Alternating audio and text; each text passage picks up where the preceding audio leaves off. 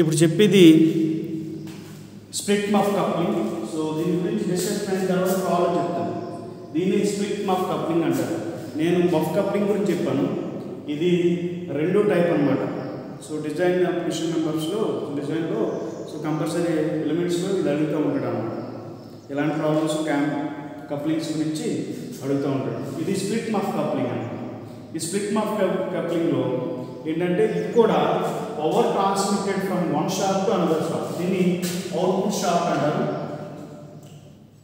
Output ఇది input input shaft input shaft నుంచి output power transmit అవుతుంది త్రూ క్లాంప్స్ హాల్స్ అంటారు అన్నమాట HAV halves HAL BES halves అంటారు. సో హాల్స్ సో పైన కింద ఏంటంటే బోల్ట్ ద్వారా ఫిక్స్ చేస్తాం అనమాట అంటే టూ క్లాంప్స్ ఉంటాయి.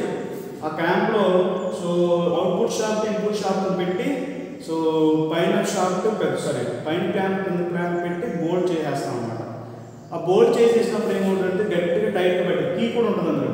కీ అండ్ షాప్ టు షాప్ని ఓకేనా అలాగే ఈ రెండు క్లాంప్స్ని కలిపి టోటల్ బోల్డ్ చేసేస్తే ఆటోమేటిక్గా ఇన్పుట్ షాప్ రొటేట్ అయింది అనుకోండి ఇన్పుట్ షాప్ నుంచి కీకి వెళ్ళింది.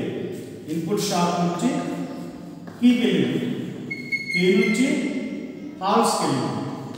హాల్స్కి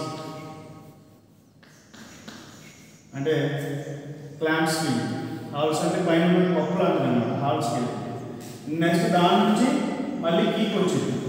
కీ నుంచి మళ్ళీ అవుట్పుట్ షాప్కి వెళ్ళింది. సో ఇలాగా పవర్ అనేది ట్రాన్స్మిట్ అవుతూ ఉండదు. పవర్ అంటే ఏంటి? Mechanical rotation mechanical power mechanical power అనేది ఇన్పుట్ షాప్ నుంచి అవుట్పుట్ షాప్కి వెళ్ళింది. ఎలాగైతే ఇన్పుట్ షాప్ నుంచి కీకి కీ నుంచి హాల్స్కి హాల్స్ నుంచి కీకి నెక్స్ట్ అవుట్ అవుట్పుట్ షాప్కి ఇలాగా పవర్ ట్రాన్స్మిట్ అవుతూనే ఉంటుంది. దాని యొక్క కన్స్ట్రక్షన్ చూస్తే ఇలా ఉంటుంది అన్నమాట నెంబర్ ఆఫ్ పార్ట్స్ ఏమేమి ఉన్నాయి హాల్స్ అలాగే key and shaft and bolts so ఇలాగా కన్స్ట్రక్షన్ చేస్తూ. ఇప్పుడు ఇది మేజర్ అడ్వాంటేజెస్ ఏంటంటే అలైన్మెంట్ అనేది ఈజీ సో మనం ఈజీగా అసెంబుల్ టు డిసెంబుల్ చేయొచ్చు. మఫ్ కప్లింగ్ లాగా ఒకటే స్లీవ్ ఉండిద్ది అందులో ఆ స్లీవ్లోనే రెండు షాప్ని ఇన్సర్ట్ చేసేసి చేస్తూ ఉంటాం మఫ్ కప్లింగ్ ఇందులో అలా కాదు. సో ఈజీగా బోల్ట్ తీసేస్తే క్లాంప్ తీసే క్లాంపింగ్ ఈజీ ఈజీగా ఉండొచ్చు అన్నమాట. సో పవర్ ట్రాన్స్మిటింగ్ కూడా చాలా ఈజీగా జరిగింది. ఓకేనా కాకపోతే ఇక్కడ ఇందులో ఫ్రిక్షన్ ఫ్రిక్షన్ ప్రొడ్యూస్ అవుతుంది ఆ ఫ్రిక్షన్ వల్ల అంటే క్లాంప్ చేయడం వల్ల క్లాంప్ షాఫ్ట్కి అటాచ్ అయిపోవడం వల్ల కొంత ఫ్రిక్షన్ అనేది డెవలప్ అవుతుంది అనమాట ఓకే? సో ఇది split muff coupling or clamp coupling అని అనవచ్చు లేకపోతే కంప్రెషన్ కప్లింగ్ అని అనవచ్చు ఓకేనా? సో ప్రాబ్లం చెప్తాను చూడండి ఒకసారి. సో ప్రాబ్లం ఈ స్విఫ్ట్ మాప్ కప్లింగ్ మీదే ఉండిద్ది. సో నేను చెప్తాను అది ఎలా ఉండిద్ది అనేది అంటే ప్రాబ్లము డిస్ డిస్క్రిప్షను ప్రాబ్లం రెండు కవర్ అయిపోతాయి ఇది ఇక్కడ బోల్ట్ ఇచ్చారు చూసారా? ఈ బోల్ట్లే రెండు క్లాంపుల్ని కలిపాడండి కల- కలపడానికి అనమాట. అంటే ఇది ఉంటుంది క్లాంప్స్ మొత్తం ఇది sharp input input sharp output sharp అని ఉంటుంది. పైన ఇది ఉంటుంది? క్లాంప్ చూసారా? పైన ఉన్న వాటికి క్లాంప్ చేసేస్తాం బోల్ట్ నెంబర్ ఇక్కడ ఇక్కడ ఎయిట్ బోల్ట్స్ ఉంది. ఎయిట్ బోల్ట్స్ ఈక్వల్గా ఉంటాయి అనమాట. ఇది స్ప్లిట్ మఫ్ కప్లింగ్ ప్రాబ్లం చేద్దాం దీని మీద. మంచి అండర్స్టాండింగ్ వచ్చింది మనకి. ప్రాబ్లం చూడండి ఒకసారి. దీన్ని ఏమంటారంటే స్ప్లిట్ మఫ్ కప్లింగ్ అంటారు. దీన్ని స్ప్లిట్ మఫ్ కప్లింగ్ అంటారు. చూడండి ఒకసారి స్ప్లిట్ మఫ్ కప్లింగ్ ఎలా ఉంటుంది అనేది. Split muff coupling land coupling అని అనవచ్చు అలాగే అనవచ్చు ప్రాబ్లం అలాగే కంప్రెస్ కప్లింగ్ అని కూడా అనవచ్చు ఎలాగే అనవచ్చు అలాగే మఫ్ కప్లింగ్ని స్లీవ్ కప్లింగ్ అని అనవచ్చు లేకపోతే బాక్స్ కప్లింగ్ అని అనవచ్చు అలాగే అనవచ్చు కానీ దీన్ని మాత్రం land compression it is required to design split muff coupling ఇందులోనే రెండు కవర్ అయిపోయింది. ఒకటి థీరీ కవర్ అయిపోయింది ఇంకోటి ప్రాబ్లం కూడా కవర్ అయిపోతుంది థీరీ ఏమేమి పార్ట్స్ నెంబర్ ఆఫ్ పార్ట్స్ ఏమేమి బోర్డ్ ఇదేంటి హాల్స్ షార్ప్ లోపల కీ అలాగే బోర్డు ఎలా ఎలా కన్స్ట్రక్ట్ చేస్తామని చెప్పాను. ఒక క్లాంప్ మీద ఇంకో క్లాంప్ పెట్టి ఫస్ట్ షాఫ్ట్ అనేది అలైన్మెంట్ చూసుకుని అటాచ్ చేసి దాంట్లో కీ పెట్టేసి కీ ఇన్సర్ట్ చేసి పైన ఉన్న క్లాంప్ కింద ఉన్న క్లాంప్ని అటాచ్ చేసి బోల్డ్ చేసేస్తాం అనమాట బోల్డ్ చేసేస్తే అప్పుడు క్లాంప్ అనేది దట్ ఈస్ స్ప్లిట్ మాకు కప్లింగ్ కప్లింగ్ అనేది ఫామ్ అయిపోయింది. ఇది డిస్క్రిప్షన్ సో చూడండి ఒకసారి మనకి దట్ ఈస్ ప్రాబ్లమ్ ఎలా అడిగితే డిజైన్ ఏ మఫ్ కప్లింగ్ అని అడుగుతారు. It is required to design split muff coupling to transmit fifty kilowatt power అంటే ఫిఫ్టీ కిలో వ్యాట్ పవర్ని ట్రాన్స్మిట్ చేసేటట్టు ఒక స్ప్లిట్ మఫ్ కప్లింగ్ డిజైన్ చేయండి sir it is required to design a split muff coupling to transmit 50 kilowatt power at uh, 120 rpm ఒక నూట ఇరవై revolution per minute చేసేటట్టు ఒక కప్లింగ్ని నాకు డిజైన్ చేయండి అంటారు the sharp and sharp and comer key and clamping boards are made of plain carbon steel అంటే ఇప్పుడు మాకు ఫోర్ పార్ట్స్ ఉన్నాయని చెప్పండి అదే పార్ట్స్ షార్ప్ కీ క్లాంప్స్ పైన క్లాంప్స్ ఆ రెండు కూడా మూడు కూడా ప్లేన్ కార్బన్ స్టీల్తో ప్రొడ్యూస్ అవుతాయి అన్నాడు దాని యొక్క ultimate tensile stress ultimate tensile stress forty newton per mm square అంటే ఇంత స్ట్రెస్ దగ్గర అది రెసిస్ట్ చేయగలం అన్నమాట లోడ్ని the yield stress strength the yield strength in compression is 140 150 percentage of tensile yield strength అంటే compression in compression is 150 percentage of yield strength అంటే 1 1 150 percentage extra ఉన్నట్టు అని చెప్తున్నారు the factor of safety for a sharp comma key and bolt is 5 5 number అంటే షార్ప్ కి key కి bolt కి 5 the number of factor of safety is 5 the number of clamping bolts is required is అంటే number of bolts ఎన్ని use చేస్తున్నారు క్లాంప్ చేయడానికి ఎయిట్ యూజ్ చేస్తున్నారు the coefficient of friction between the sleeves sleeve sleeve halves halves and the shaft is zero point three అంటే స్లీవ్కి slew హాల్స్కి అలాగే షాప్కి ఇప్పుడు నేను టచ్ అయిపోతాను చెప్పాను కదా so coefficient of friction zero point three అన్నాడు calculate diameter of the input and output shafts అంటే ఈ ఇన్పుట్ షాప్ యూజ్ చేస్తాం కదా అలాగే అవుట్పుట్ షాప్ యూజ్ చేస్తాం కదా ఇప్పుడు డయామీటర్ ఎంత పెట్టాలి సార్ అన్నాడు ఓకే నాకు ఆల్రెడీ షాప్ యొక్క డయామీటర్ టెన్జైల్ స్ట్రెంత్ ఇచ్చాడు ఓకేనా స్ట్రెంత్ ఆఫ్ మెటీరియల్ ఇచ్చాడు ఈ స్ట్రెంత్ అలాగే specify the length and outer diameter of the sleeve halves ఏదైతే స్లీవ్ హీట్ చేశానో ఆ హీల్స్ స్లీవ్స్ యొక్క లెంత్ ఎంత పెట్టాలి అని అడుగుతున్నాడు ఇది లెంత్ అంటే three point five okay L is equal అలాగే డయామీటర్ వచ్చేసి డయామీటర్ వచ్చేసి మనకి టూ పాయింట్ ఫైవ్ డయామీటర్ వచ్చేసి టూ పాయింట్ ఫైవ్ సో అది కూడా ఫైండ్ అవుట్ చేయాలి ఇక్కడ రాసుకోండి two point five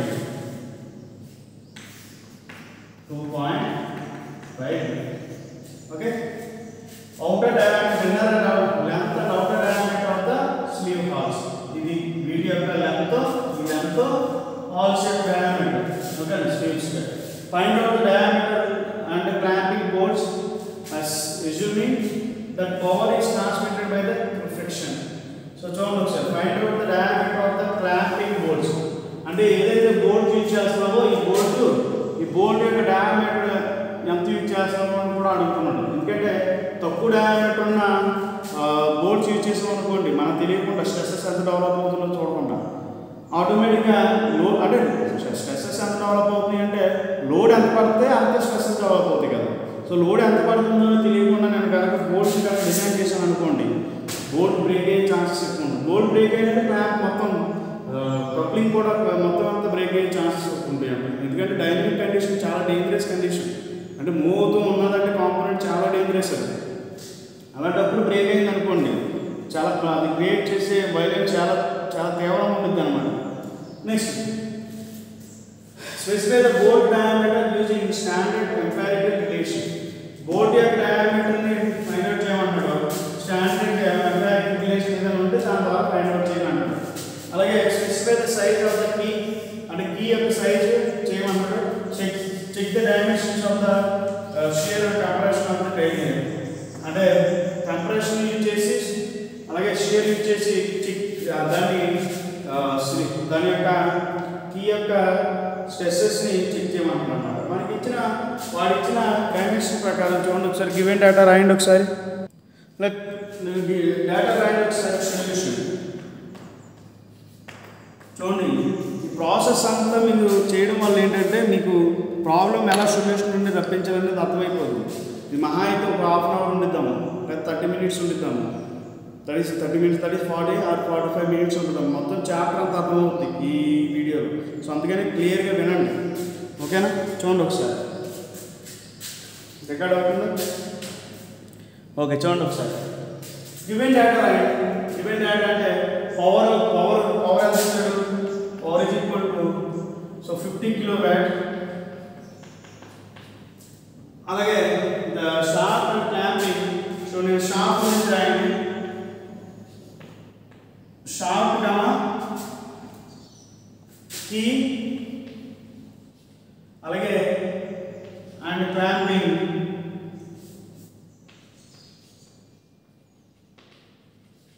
క్లాంపింగ్ గురించి చెప్తాను చూడండి షార్ప్ కీ క్లాంపింగ్ సో కింద కనిపిస్తుంది మీకు? ఉమ్, కనిపిస్తుంది. Made of plain carbon steel దాని యొక్క yield stress forty newton per mm square okay దీని యొక్క yield stress SYT it equal to four hundred sir four hundred four hundred newton per mm square The yield strength in, in compression is 150 percentage ఎక్కువ అన్నమాట అంటే S compression సరే vice YT YC it is equal to one one point five percentage four అంటే SYT అన్న S YT అంటే మన meaning ఏంటి one point five into four hundred four hundred so that is equal to that is six hundred note per MM square okay so ఇలా ఇచ్చాడు next factor of safety the factor of safety is five hundred so కనిపిస్తుంది మీకు factor of safety కింద ఇంకా కనిపిస్తుందా? కనిపించట్లేదు కాబట్టి నేను factor of safety F S ఎంత ఇచ్చాడు మనకి ఫైవ్ ఇచ్చాడు ఫైవ్ ఇచ్చాడు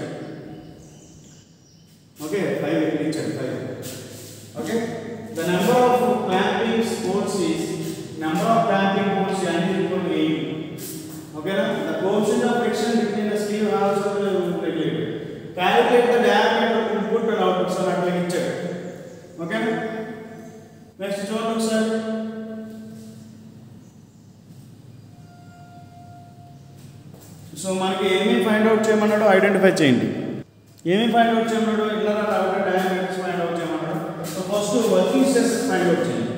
That is W working stress it is equal to factor of safety by sorry అంటే yield stress by factor of safety that is five it is equal to so four hundred by five that is eighty newton per MM square eighty newton per MM square వచ్చింది అలాగే working stress in కంప్రెషన్లో is equal to టెన్జైన్లో అంత వచ్చింది. కంప్రెషన్లో one point five into four hundred divided by 5 is equal to factor of safety is same 120 newton per atmosphere 120 newton per అంటే check చేయడానికి ఉపయోగపడుతుంది working stresses అలాగే కవ్ కూడా ఫైండ్ వచ్చింది. కవ్ is equal to zero point five times of yield stress yield stress అంటే four hundred divided by five so ఇదంతా వచ్చిందంటే మనకి forty newton per MM forty newton per MM ఎందుకు సార్? జీరో పాయింట్ ఫైవ్ అంటే నేను already చెప్పాను చాలా క్లియర్గా చెప్తున్నాను. ఈ మెటీరియల్కి ఈల్డ్ స్ట్రెంత్లో షేర్ స్ట్రెంత్ ఈల్ స్ట్రెస్లో తక్కువ ఉండిద్ది. అంటే సగమే ఉండిద్ది. ఓకేనా అంటే ఫర్ ఎగ్జాంపుల్ ఒక మెటీరియల్ యొక్క yield strength yielding point hundred newton per MM square దగ్గర వచ్చింది అనుకోండి. షీరింగ్ స్ట్రెంత్ దాంట్లో సగమే ఉండిద్ది. అంటే it is ductile materials is more weaker బాగా వీక్గా ఉంటుంది షీరింగ్ లోడ్లో ఎంత ఉండిద్ది? ఎంత వీక్ ఉండిద్ది? Half of the yield yield ఈల్డ్లో half ఉండిద్ది అనమాట ఓకేనా? అంటే body tension hundred newtons apply చేసినా తట్టుకోగలదు కానీ ఒక ఫిఫ్టీ దట్ ఈస్ అదే హండ్రెడ్ షీరింగ్ ట్విస్టింగ్లో పడింది అనుకోండి షీరింగ్లో బ్రేక్ అయిపోద్ది ఈజీగా. ఓకేనా? That is it is half of the that is zero point five four hundred by five అన్నమాట సో నెక్స్ట్ నాకు అన్ని వర్కింగ్ వచ్చినాయి దీని నుంచి టార్క్ పైన వచ్చే టార్క్ దట్ ఈస్ ఎంటీ నేను ఆల్రెడీ చెప్పాను. పవర్ ఈజ్ ఈక్వల్ టు ఏమని చెప్పాను power is equal to two pi NT that is MT అనుకున్నాను. దట్ ఈస్ టార్క్ని ఎం సర్ఫిక్స్ ఎంటీ అనుకున్నాను. ఎంటీ బై సిక్స్టీ సో దీన్ని నేను ఎంటీ ఎలా రాస్తానంటే MT is equal to sixty into ten to the power of six into P divided by two by అని కింద రాస్తాను కరెక్టే ఎందుకంటే పవర్ కిలో వ్యాట్లో ఉంది. వ్యాట్లో కన్వర్షన్ ఏమో ten to the power of three ఎంఎంలోనేమో ఇంకో ten to the power of three into ten to the power of six ఎప్పుడు పీ తీసి కిలో వ్యాట్లో ఉన్నప్పుడే. ఓకే? నేను ఇది మొత్తం క్లీన్లో చెప్పాను. చాలా క్లియర్గా చెప్పాను దీని గురించి. MT it is equal to sixty into ten to the power of six into power of hundred fifty kilo watts ఇచ్చాడు fifty fifty kilo watts fifty by kilo వ్యాట్లు వేసేయండి డైరెక్ట్ టూ పై స్పీడ్ ఎంత ఇచ్చాడు one twenty one twenty so నాకు ఎంటీ ఎంత వచ్చిందంటే కనిపిస్తుంది మీకు వాల్యూ ఎందుకు? సారీ ఓకేనా ఇప్పుడు చూడండి ఒకసారి. కనిపిస్తుందా? మనకి ఎంఎఫ్ ఎంత వచ్చిందంటే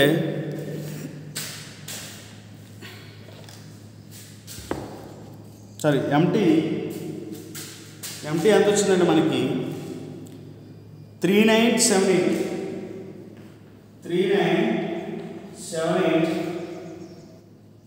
eight seventy three eight seventy three point five eight వచ్చింది. ఇది న్యూటన్ ఎంఎం ఓకేనా? కొంచెం యువతలు రాసుకున్నాను ఎందుకంటే స్పేస్ ఉంది కాబట్టి యువతలు నేను నాకు స్పేస్ చాలా ఇంపార్టెంట్ ఇలాంటి వాళ్ళు M of T equal to ఎంత వచ్చిందండి మనకి? Three nine seven eight three nine seven eight eight seventy three eight seventy three point five eight newton MM అంటే టార్క్ కాబట్టి న్యూటన్ నేర్చుకోండి కానీ ఎంఎంలో రాసుకోండి ఎందుకంటే ఎస్ఎస్సి స్పెసెస్ ఇన్ ఎంఎంలో ఉంది. ఓకే సో కింద కింద కనిపిస్తుంది మనకి ఇంకా. ఇంకా ఉంది చూడండి సార్ దీని నుంచి టాప్ పాయింట్ వచ్చింది సారీ టౌ పాయింట్ వచ్చింది state stress equal to sixteen MT by MT by by DQ so నీకు ఆల్రెడీ నేను చెప్పాను. Tau is equal to MR by J అని. ఓకే సో లోడ్ అవుతుందా? ఓకే చూడండి ఒకసారి. Sixteen MT by by DQ చూడండి ఒకసారి. టౌ అంటే టౌ నాకు ఆల్రెడీ తెలుసు అంతా ఫార్టీ ఫార్టీ అని తెలుసు ఫార్టీ ఇజ్ ఈక్వల్ టు రాయొచ్చు forty is equal to sixteen into MT అంటే three nine seven eight double eight seven double eight seven three point five eight divided by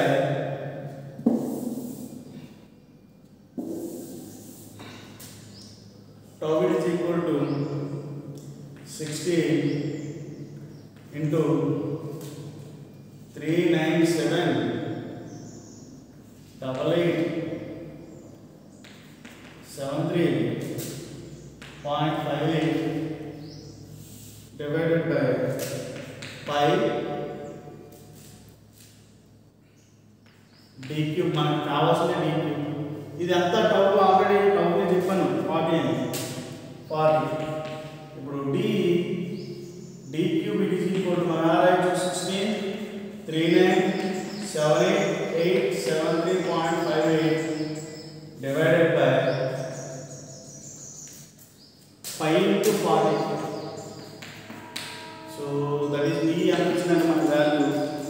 d value small d 79.72 that is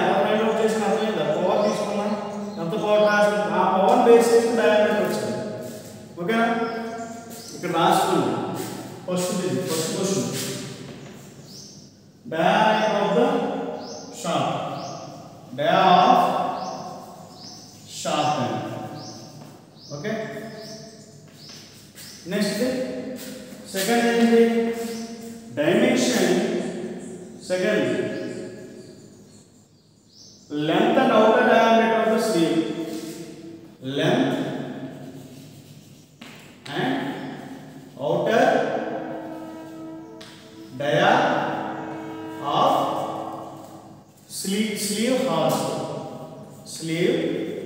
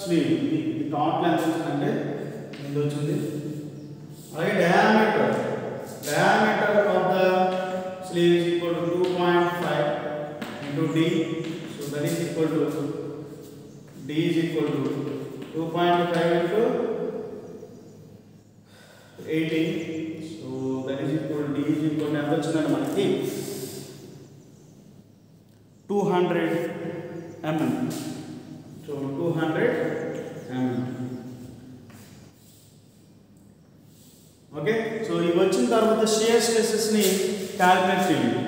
share stresses ఎలా find out చేస్తారు? నాకు inner diameter అలాగే outer diameter వద్ద మనకి తెలిసిపోయింది. Inner diameter outer diameter so ఇప్పుడు ఏంటంటే ఏం చేస్తారంటే థర్డ్ బిట్ ఫైండ్ అవుట్ చేయండి. థర్డ్ థర్డ్ ఏం find out the diameter diameter, diameter of the dia of clamping bolts.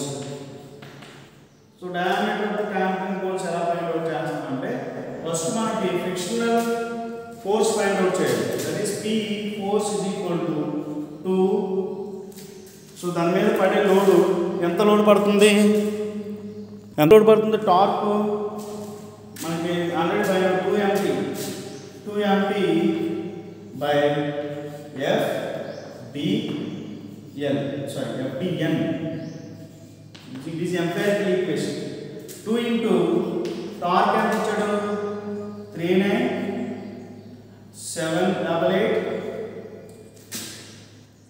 7 3 so కనిపిస్తుంది మీకు అందరికీ 7 3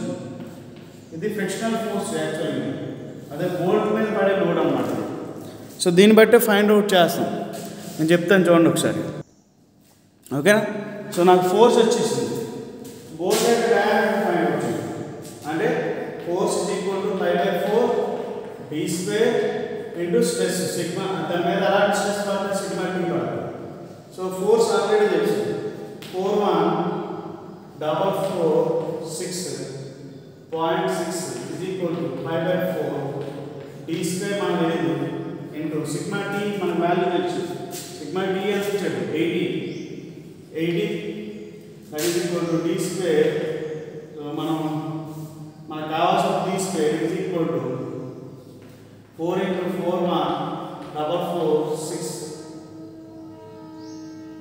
six point six divided by five into eighty so నాకు ఎంత వచ్చిందంటే D D value diameter of the bolt twenty five point six eight so నేను కొంచెం కుదించి రాస్తాను. ఎందుకంటే సో డైరెక్ట్గా twenty six point two eight approximately is equal to twenty eight MM అంటే two point eight centimeters okay next ఇంకా ఫోర్త్ది fourth question specify the bolt diameter using standard empirical relation అంటే మనకి డైరెక్ట్ ఇన్ చూడండి ఒకసారి. ఫిఫ్త్ది fourth diameter అంటే diameter of the bolt dia of bolt by using empirical equation by using diameter of the can bolt using empirical equation ఓకేనా empirical equation. Okay. Relation. Again, అంటే అదరం ఉందండి d is equal to 0.15 d plus 15 I think 15 hmm, yes 15 15 that is equal to 0.15 d value 80 so plus 15 so we will get diameter of the that is 27 point 27 mm 27 mm 27 mm the sound of sorry 27 mm so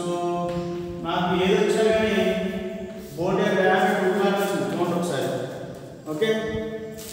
You didn't do bolt to formula. నేను ఏమి ఇచ్చేసి umpiring that is relation ఇచ్చేసి చేసిన లేకపోతే umpiring equation ఇచ్చేసిన ఒకటే వచ్చింది. Next ఫిఫ్త్ది specify the size of the of the key specify the size of the key specify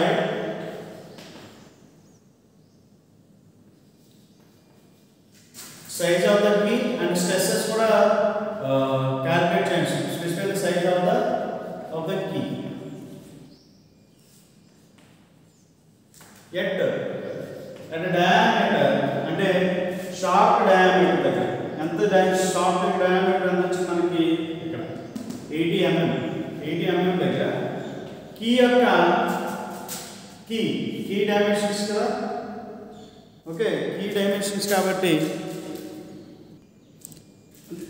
data బుక్లో చూస్తే width twenty four height I think fourteen fourteen అంటే width into height at at at eighty MM దగ్గర width is equal twenty four height is equal to four ఇప్పుడు L L is length of the key is equal to capital L by two that is capital L length of the element two eighty వచ్చింది two eighty by two it is equal to one forty so one forty MM length of the key అలాగే stresses కూడా calculate చేయమన్నాడు stresses ఎలా calculate చేస్తాం first so shear stress calculate చేయండి. Shear stress is equal to two MT by DBL అంతే కదా?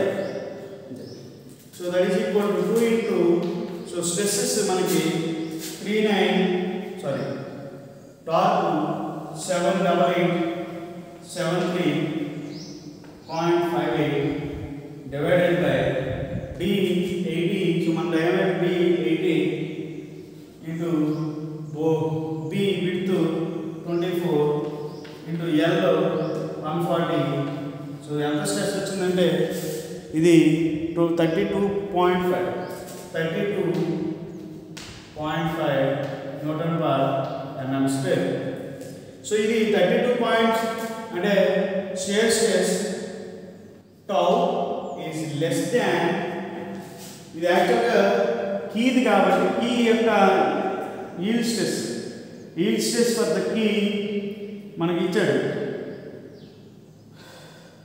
for the key forty newton per MM square forty newton per MM square forty newton per MM square అంటే మనకు వచ్చి thirty two point five వాడిచ్చిన allowable stress forty newton per MM square ఇప్పుడు మనకి మనకి ఈ dimensions దగ్గర అంటే విడ్త్ హైట్ ఈ రెండు డైమెన్షన్ దగ్గర లెంత్ ఈ ఈ- ఈ మూడింటి దగ్గర at torque three nine three nine seven double eight seven three point five eight దగ్గర ఈ కీ యొక్క stresses thirty two point five వస్తుంది కాబట్టి ఇది ఎలా స్ట్రెస్ కన్నా తక్కువ ఉంది కాబట్టి safe design design is safe okay next అలాగే క్రషింగ్ స్ట్రెస్ కూడా point sigma c is equal to 4. So can be equal?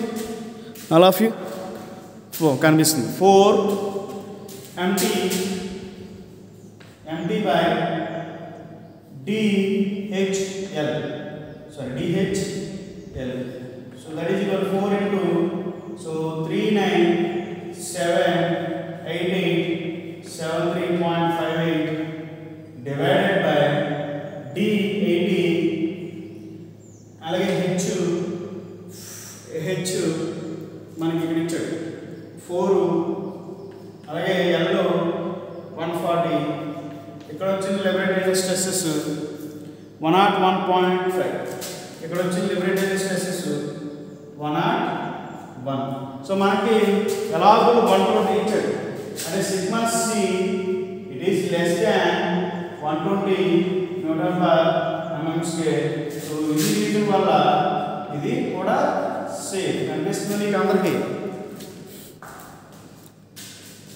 కనిపిస్తుందా? వన్ నాట్ వన్ వచ్చింది. One naught one newton per mm square sigma c stress. So ఆ reason వల్ల మనకి ఏంటంటే అలా ఎలాబుల్ stress. చూడండి ఒకసారి స్టార్టింగ్ ఇక్కడ ఉంది చూడండి కార్నర్లో. One twenty newton per mm square అని ఉంది. ఎలాబుల్ కానీ మనకు వచ్చింది ఎంత? వన్ నాట్ వన్ వచ్చింది. సో ఈ రీజన్ వల్ల we are in safe zone అనమాట అంటే వర్కింగ్ స్ట్రెస్సెస్ మనకి అలాబుల్ స్ట్రెస్సెస్ కన్నా తక్కువ ఉన్నాయి కాబట్టి మనకి we are safe zone so ఇది ప్రాబ్లము ఇది స్ప్లిట్ మఫ్లింగ్ మఫ్ కప్లింగ్ సంబంధించిన ప్రాబ్లం ఓకే మళ్ళీ ఒక్కసారి రిపీట్ చేస్తాను. ఒక ఒక ఒక టూ మినిట్స్లో ఒకసారి చూడండి ఒకసారి. టూ మినిట్స్ టూ మినిట్స్లో మొత్తం అంతా కంప్లీట్ చేసేస్తాను. Muff coupling split muff coupling clamp coupling అనొచ్చు దీన్ని కంపోజిషన్ కప్లింగ్ అనొచ్చు అదే కంప్రెషన్ కప్లింగ్ అని అనొచ్చు. అంటే పైన ఒక క్లాంప్ ఉంటుంది కింద ఒక క్లాంప్ ఉంటుంది ఈ రెండింటిని క్లాంప్ చేసి బోల్డ్ చేసేస్తాం అనమాట ఓకేనా అందుకని క్లాంప్ కప్లింగ్ కూడా అనొచ్చు ఇది ఒక షాప్ నుంచి ఇంకొక షాప్ పవర్ ట్రాన్స్ఫర్ చేయడానికి ఎక్కువ ఉపయోగపడుతుంది క్లాంప్ దట్ ఈస్ ఈ టైప్ కప్లింగ్స్ అన్నమాట. సో చూస్తే ఇక్కడ చూస్తే output that is first power input నుంచి అవుట్పుట్కి వెళ్తుంది. ఎలా వెళ్తుందంటే ఇన్పుట్ నుంచి ఫస్ట్ కీకి వెళ్తుంది. కీకి వెళ్ళి స్లీవ్కి వెళ్తుంది. హాఫ్ హాఫ్స్కి వెళ్తుంది. స్లీవ్ హాఫ్స్కి వెళ్తుంది. అంటే హాఫ్ ఆఫ్ ది స్లీవ్ అనమాట స్లీవ్ హాఫ్స్ అంటే ఓకేనా సో స్లీవ్కి వెళ్తుంది. స్లీవ్ నుంచి మళ్ళీ కీకి వెళ్తుంది. కీ నుంచి అవుట్పుట్కి వెళ్తుంది. ఓకేనా ఇలా పవర్ ట్రాన్స్ఫర్ అవుతూ ఉంటుంది. ఈ ఎన్ని కాంపోనెంట్స్ ఎందుకు యూజ్ చేయడానికి in order to transmit the power from that is input to output అనమాట అంత మీన్స్ ఏం కాదు. సో సో ఏం అన్నాడు it is require to design a split muffler coupling it is require to design a split muff coupling to transmit fifty kilo watt power so మనకి power దేనికి ఉపయోగపడుతుంది అన్నాడు? సిలికాన్ కప్లింగ్ డిజైన్ చేయమన్నాడు. దేనికి to 50 kilowatt power is transmitted across. In have to transmit the uh, 50 kilowatt power at 120 rpm. So he is also given uh, speed also. Okay, he is required to design a muff coupling.